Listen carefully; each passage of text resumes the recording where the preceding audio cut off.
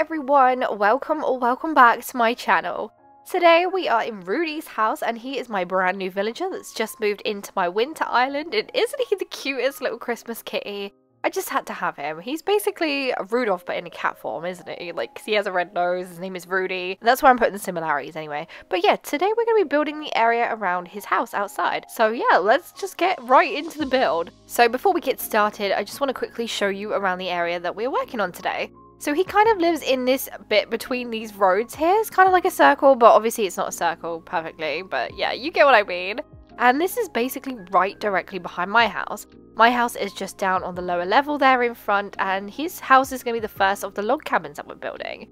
Now, I haven't finished Happy Home Paradise yet, so his house still looks like his original house. I will be changing all these houses around this area to look like cute little log cabins. And uh, yeah, I'm very excited to do that. Now, before anything else though, I'd love it if you could like, comment and subscribe. Come and join the Jellybean family. And while we're on that subject actually, 4K, are you kidding me? We hit 4K subscribers and I am over the moon. Oh my goodness. I can't believe it. I can't thank you all enough. And oh my gosh. Thank you, thank you, thank you. Thank you everyone for your support. I love you. I love you all. I can't believe the next milestone is 5k. And then, oh my gosh. It's just crazy. I can't believe it. But yeah, thank you so much everyone.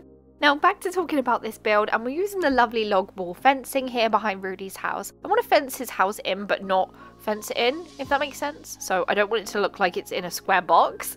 That's basically, you'll see what I'm doing. I don't know how to explain stuff very well. I just do my best, okay? I'm not an explaining person. I just kind of say whatever comes to my mind and hope that that sounds good and makes sense. That's basically it. Now we're back to using the wheat field because we haven't used the wheat field for a little while now in a couple of builds and that's because we've been in the town section. I am currently working on my next town build and I'm very very excited for it. It's going to be quite a big one and something that I don't think I've ever really done before so yeah that'd be super fun. Now back to talking about this build though because I feel like I always just end up wandering off in my thoughts and ending up talking about something completely different to what I'm actually doing.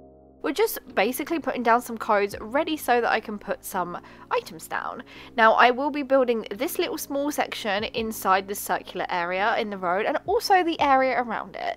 The only section we won't be doing today is the area directly behind Rudy's house because that is the campsite and I kind of want to do that in a separate build because I feel like that could be quite a big build as well and yeah I just want to join some more extra bits into it. Now here we're just placing a glowing moss boulder because it looks like a pile of snow has been scooped up on the road. There's this item that I can't remember what it's called, but it looks like a snowplow, and I will be using that in a different video. Uh, that will make it look like that's what's been ploughing all the snow to clear the roads for everyone to just drive on safely.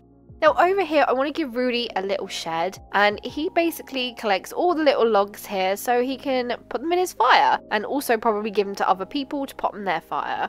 I feel like Rudy would be quite a nice, helpful villager, even though he's a jock and most of the jock villagers are quite you know, stubborn and me, me, me type of people, but I feel like he'd want to help everyone. So he collects all the logs so that everyone can use them in their fireplaces to keep warm over the cold days. Now here I've put a little glowing moss stool so it looks like someone's been rolling the snow. Probably Rudy or probably one of those cute little chubby penguins that are on the island. I'll be adding a snow person in just a little bit next to that snowball. So yeah, it makes it look like someone's made that. Now over here we just want to fence this in so that that's all fenced off and you can't really walk that way. It's just nice and, you know, overgrown looking. Uh, you knew I was going to say the word. Come on, let's be honest. I haven't said overgrown yet. And then here we go. We're going to put some logs on top of these wooden boxes and then we'll pop some tools up here and I'm going to pop an axe down just by that barrel. And I think that looks quite nice. Also, can I just say the mush log looks like it's where Rudy has chopped down a tree to have the logs ready for his storage. And it looks kind of cute. I really like it.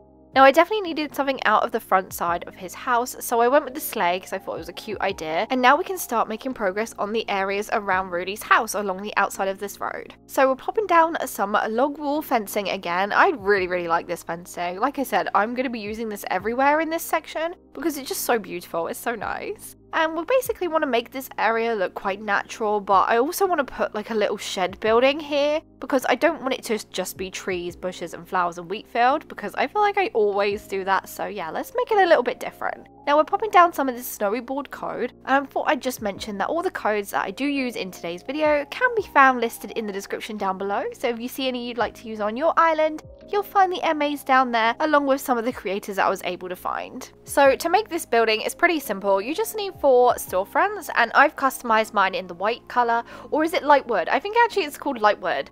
So I've customized mine in the light wood color and you just put them back to back like this and it kind of looks like a little cabin, shed, or just like a little wooden house type of thing and I kind of like it, it's kind of cute. I won't be doing too much more decoration around the little cabin that I've just built because it's not going to be area that you can walk to so I'll probably just put some bushes, wheat field, flowers, trees and that sort of stuff around it just to make the whole area feel a bit more woodsy. So along this side as well we're going to pop some more of that log wall fencing. It just kind of goes along the edge of the terraforming. I think it looks quite nice and it makes it look like this actual holiday kind of log cabin area so yeah I kind of like that pop down some wheat field here and just in case you were wondering I am using the pale green coloration of the wheat field just because I feel like it looks more like frosted grass then and I just really like it. I love using the wheat field item and I also normally like to use leaf piles as well. So I'm feeling quite lost without them on this island at the moment because I can't really use them. Now, I know I guess I could use like the green ones or something, but I feel like they look a bit strange. I wish we had frosted leaf piles or snowy leaf piles or snow piles or something like that that we could just run through. And it'd be so, so adorable and I'd probably stick them everywhere to be honest. So maybe in a future game they'll give them to us, but for now I have to just make do with Wheatfield and that's it.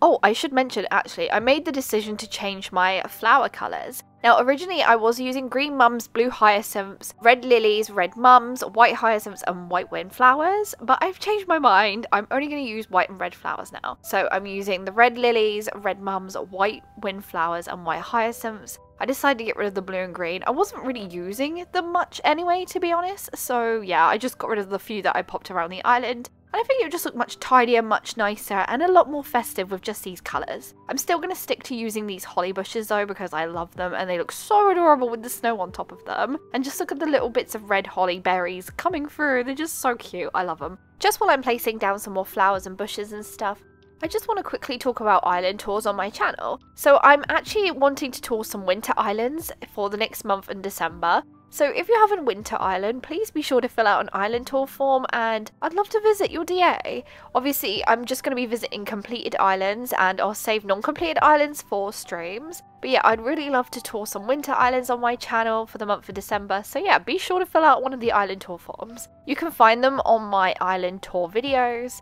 And if I remember, I'll try and link it at the bottom of this video as well. So yeah, please do fill out a form. So I'm just going to pop some more of this wood log fencing along this side of the cliff as well, along with a load of trees to make it feel really foresty and really cozy. And then I'm not going to go much further than this along this side. I just want to put some bushes behind this wood log fencing here. And I think that looks really, really nice. And then we can start doing some more progress on the other side of this build. So here we are. We've got this little section right here. And I want to just build like a little sleigh hiring area or something like that. I did one down by my house, so I feel like there should be another one closer to all the log cabins so that you could just park them there and pick them up again, that sort of thing. So yeah, that's what I'm putting here. Now this destination signpost isn't working there, so I'm going to end up moving it.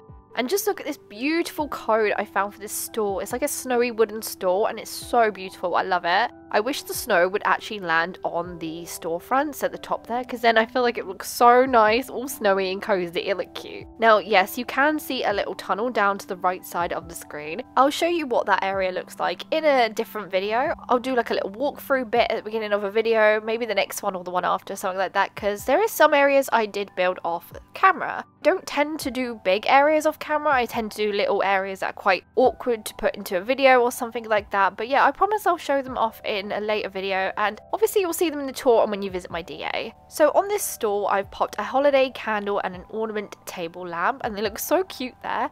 And we've popped a little few sleighs in the front there. I've just used two in different colours just so they mix match and yeah they just look nice like that. We've got to finish off this area here and where I had a bush next to the festive tree I thought a tree would definitely look better and it definitely does. So we're just popping in some of the last finishing touches. Of course, we're using some of those natural items that I love to use. So we've got the garden rock there, some wheat field, bushes. And I want to put another bush here and then I think we'll put some codes down. Now that area felt a little bit bare for me still, so I decided to pop a little cruiser bike. And the destination signpost looks definitely better there, hidden behind the tree, but you can still see it. In front of Rudy's house, I've just popped a wild log bench, put a custom code down, and then there we are done. We've finished the build, so let's have a look around.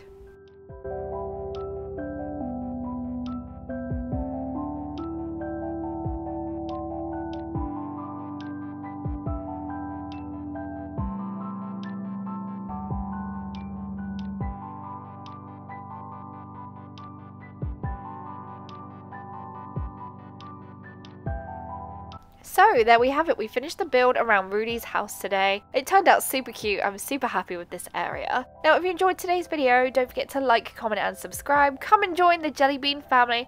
I hope you have a lovely day my friends and I'll see you in my next video. Goodbye!